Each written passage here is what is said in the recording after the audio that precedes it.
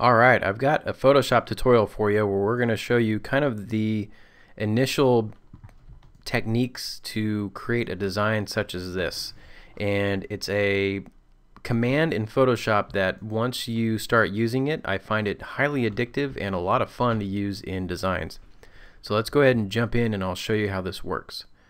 So for this tutorial though, the first thing you want to do is go under Edit, Preferences, and let's make sure that our cursors are set up in a, in a way that's easier to use.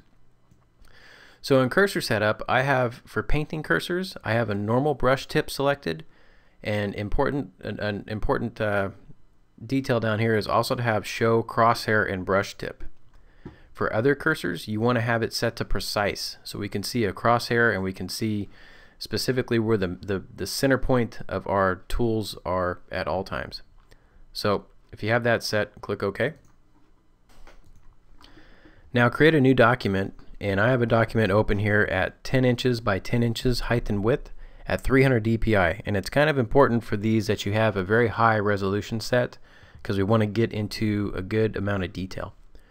So let's go ahead and create a couple of guides to find our center point of the document. So go to View, New Guide, and for the you can select either one first. Let's do horizontal orientation first. And for position, let's select 50%.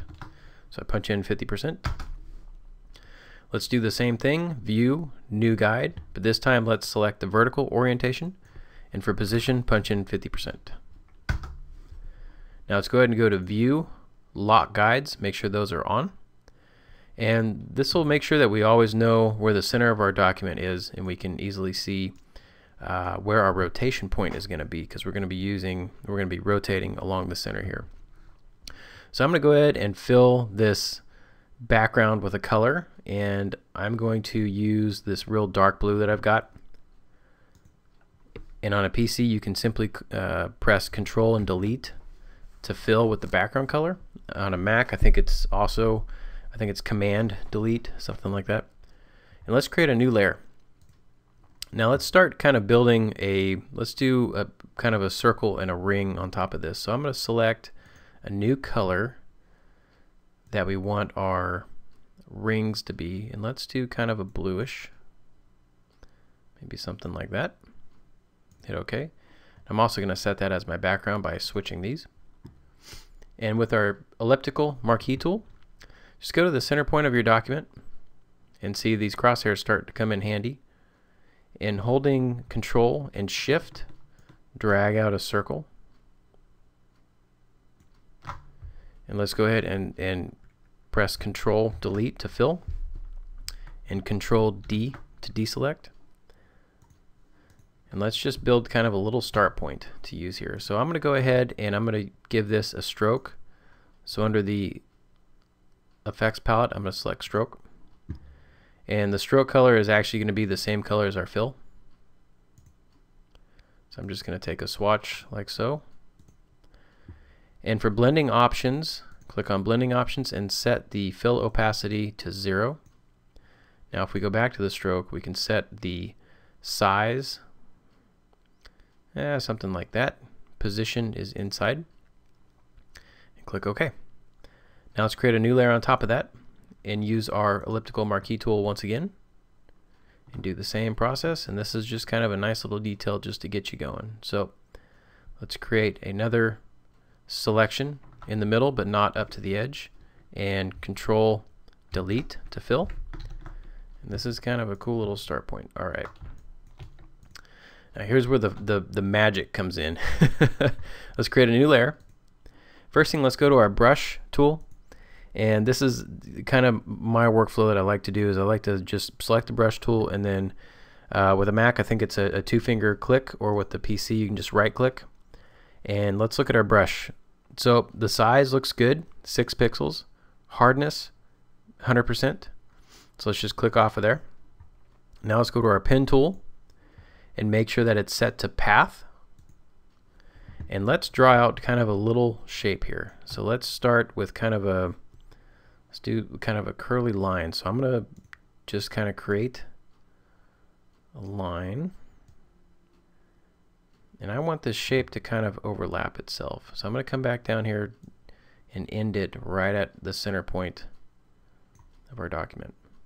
I think that looks kind of cool. All right. So now right click. Oh, I'm sorry. Let's go ahead and, and set the foreground color that we want to use. I'm going to use the same blue for now. Right click on your line with the pen tool selected and select stroke path. Now we want the tool to be brush because we already know that it's a six, pix six pixel uh, hard brush. Simulate pressure should be off and click OK. All right, I'm gonna hit enter once to get rid of our path. And we have kind of this curly line here. Now, here's where the fun comes in.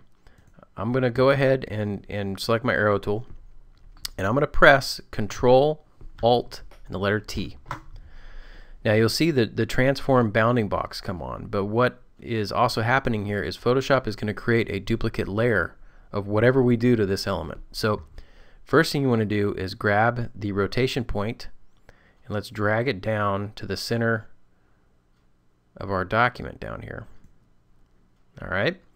Now up at the top in CS6 and CS4 and 5, I'm pretty sure you have all of these uh, tools and controls you can use here to set the, the uh, sizing and scale. We want to set rotation. So let's set it to 5. We're also picking a number that's easily divisible by 360 because we're going to go all the way around the center point of this circle. So as you can see, once I changed the rotation angle, the Photoshop made a duplicate of our original layer and has set this new layer to that angle. So let's hit enter twice there and we've created a duplicate layer. Now here's where the fun part comes in. I'm going to zoom out once so you can see this whole thing happening. Now if you hold down Control, Alt, Shift, and, the, and press the letter T, Photoshop will, will continue to make a duplicate layer with the specifications that we set. So it's going to create another layer of the one before it with the rotation set to 5 degrees and it's going to keep using the center point, the rotation point that we set on that original element. So you can press this, press T, keep holding down those, those uh, buttons, Control, Shift, and Alt, and you can go all the way around like this and start creating some very cool effects. All the way till you get back up and you'll see that we won't overlap funny and we get a perfect spacing of our lines here. So I'm going to go ahead and holding shift to my layer palette here, I'm going to select all these layers because we just created a whole bunch of new layers. And I'm going to press Control E to merge those all together.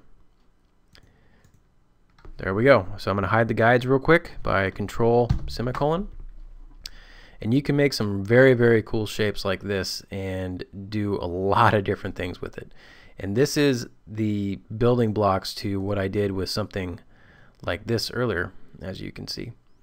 So you can take groups of shapes, you can do lines, you can do all sorts of stuff and get some really intricate line work and with some masking effects you can really pull this off. So for instance how I created this ring here I'm going to show you simply this is how you do it. So control semicolon again to turn our guides on.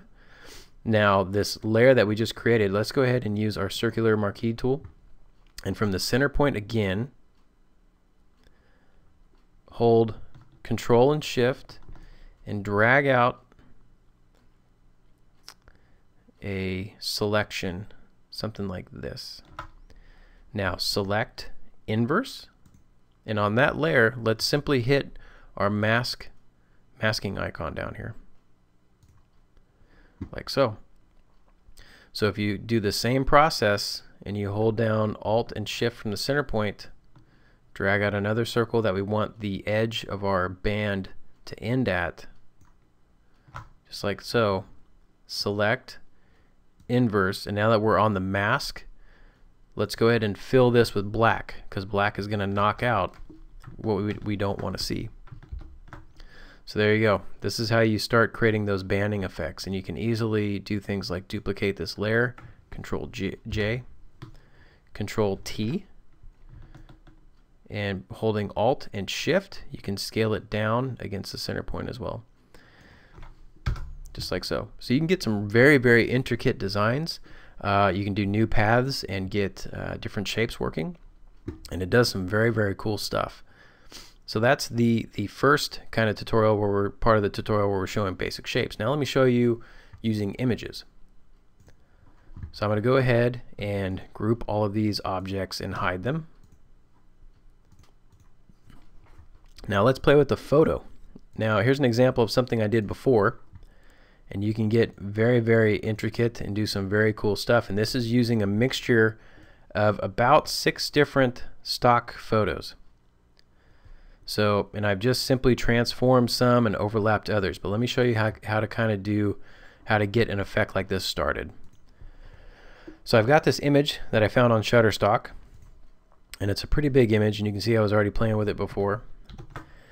But what we want to do is take a selection of this image that we want to create kind of an effect out of. So take your elliptical tool, marquee tool, and let's just kind of select around an edge and get some of these nice colors in here.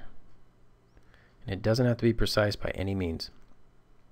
So let's go ahead and once we have kind of a selection here, this is a, a huge file that I've got. This is 9,000 pixels wide. So I'm gonna I'm gonna select and modify and feather this one, and 50 pixels is about right.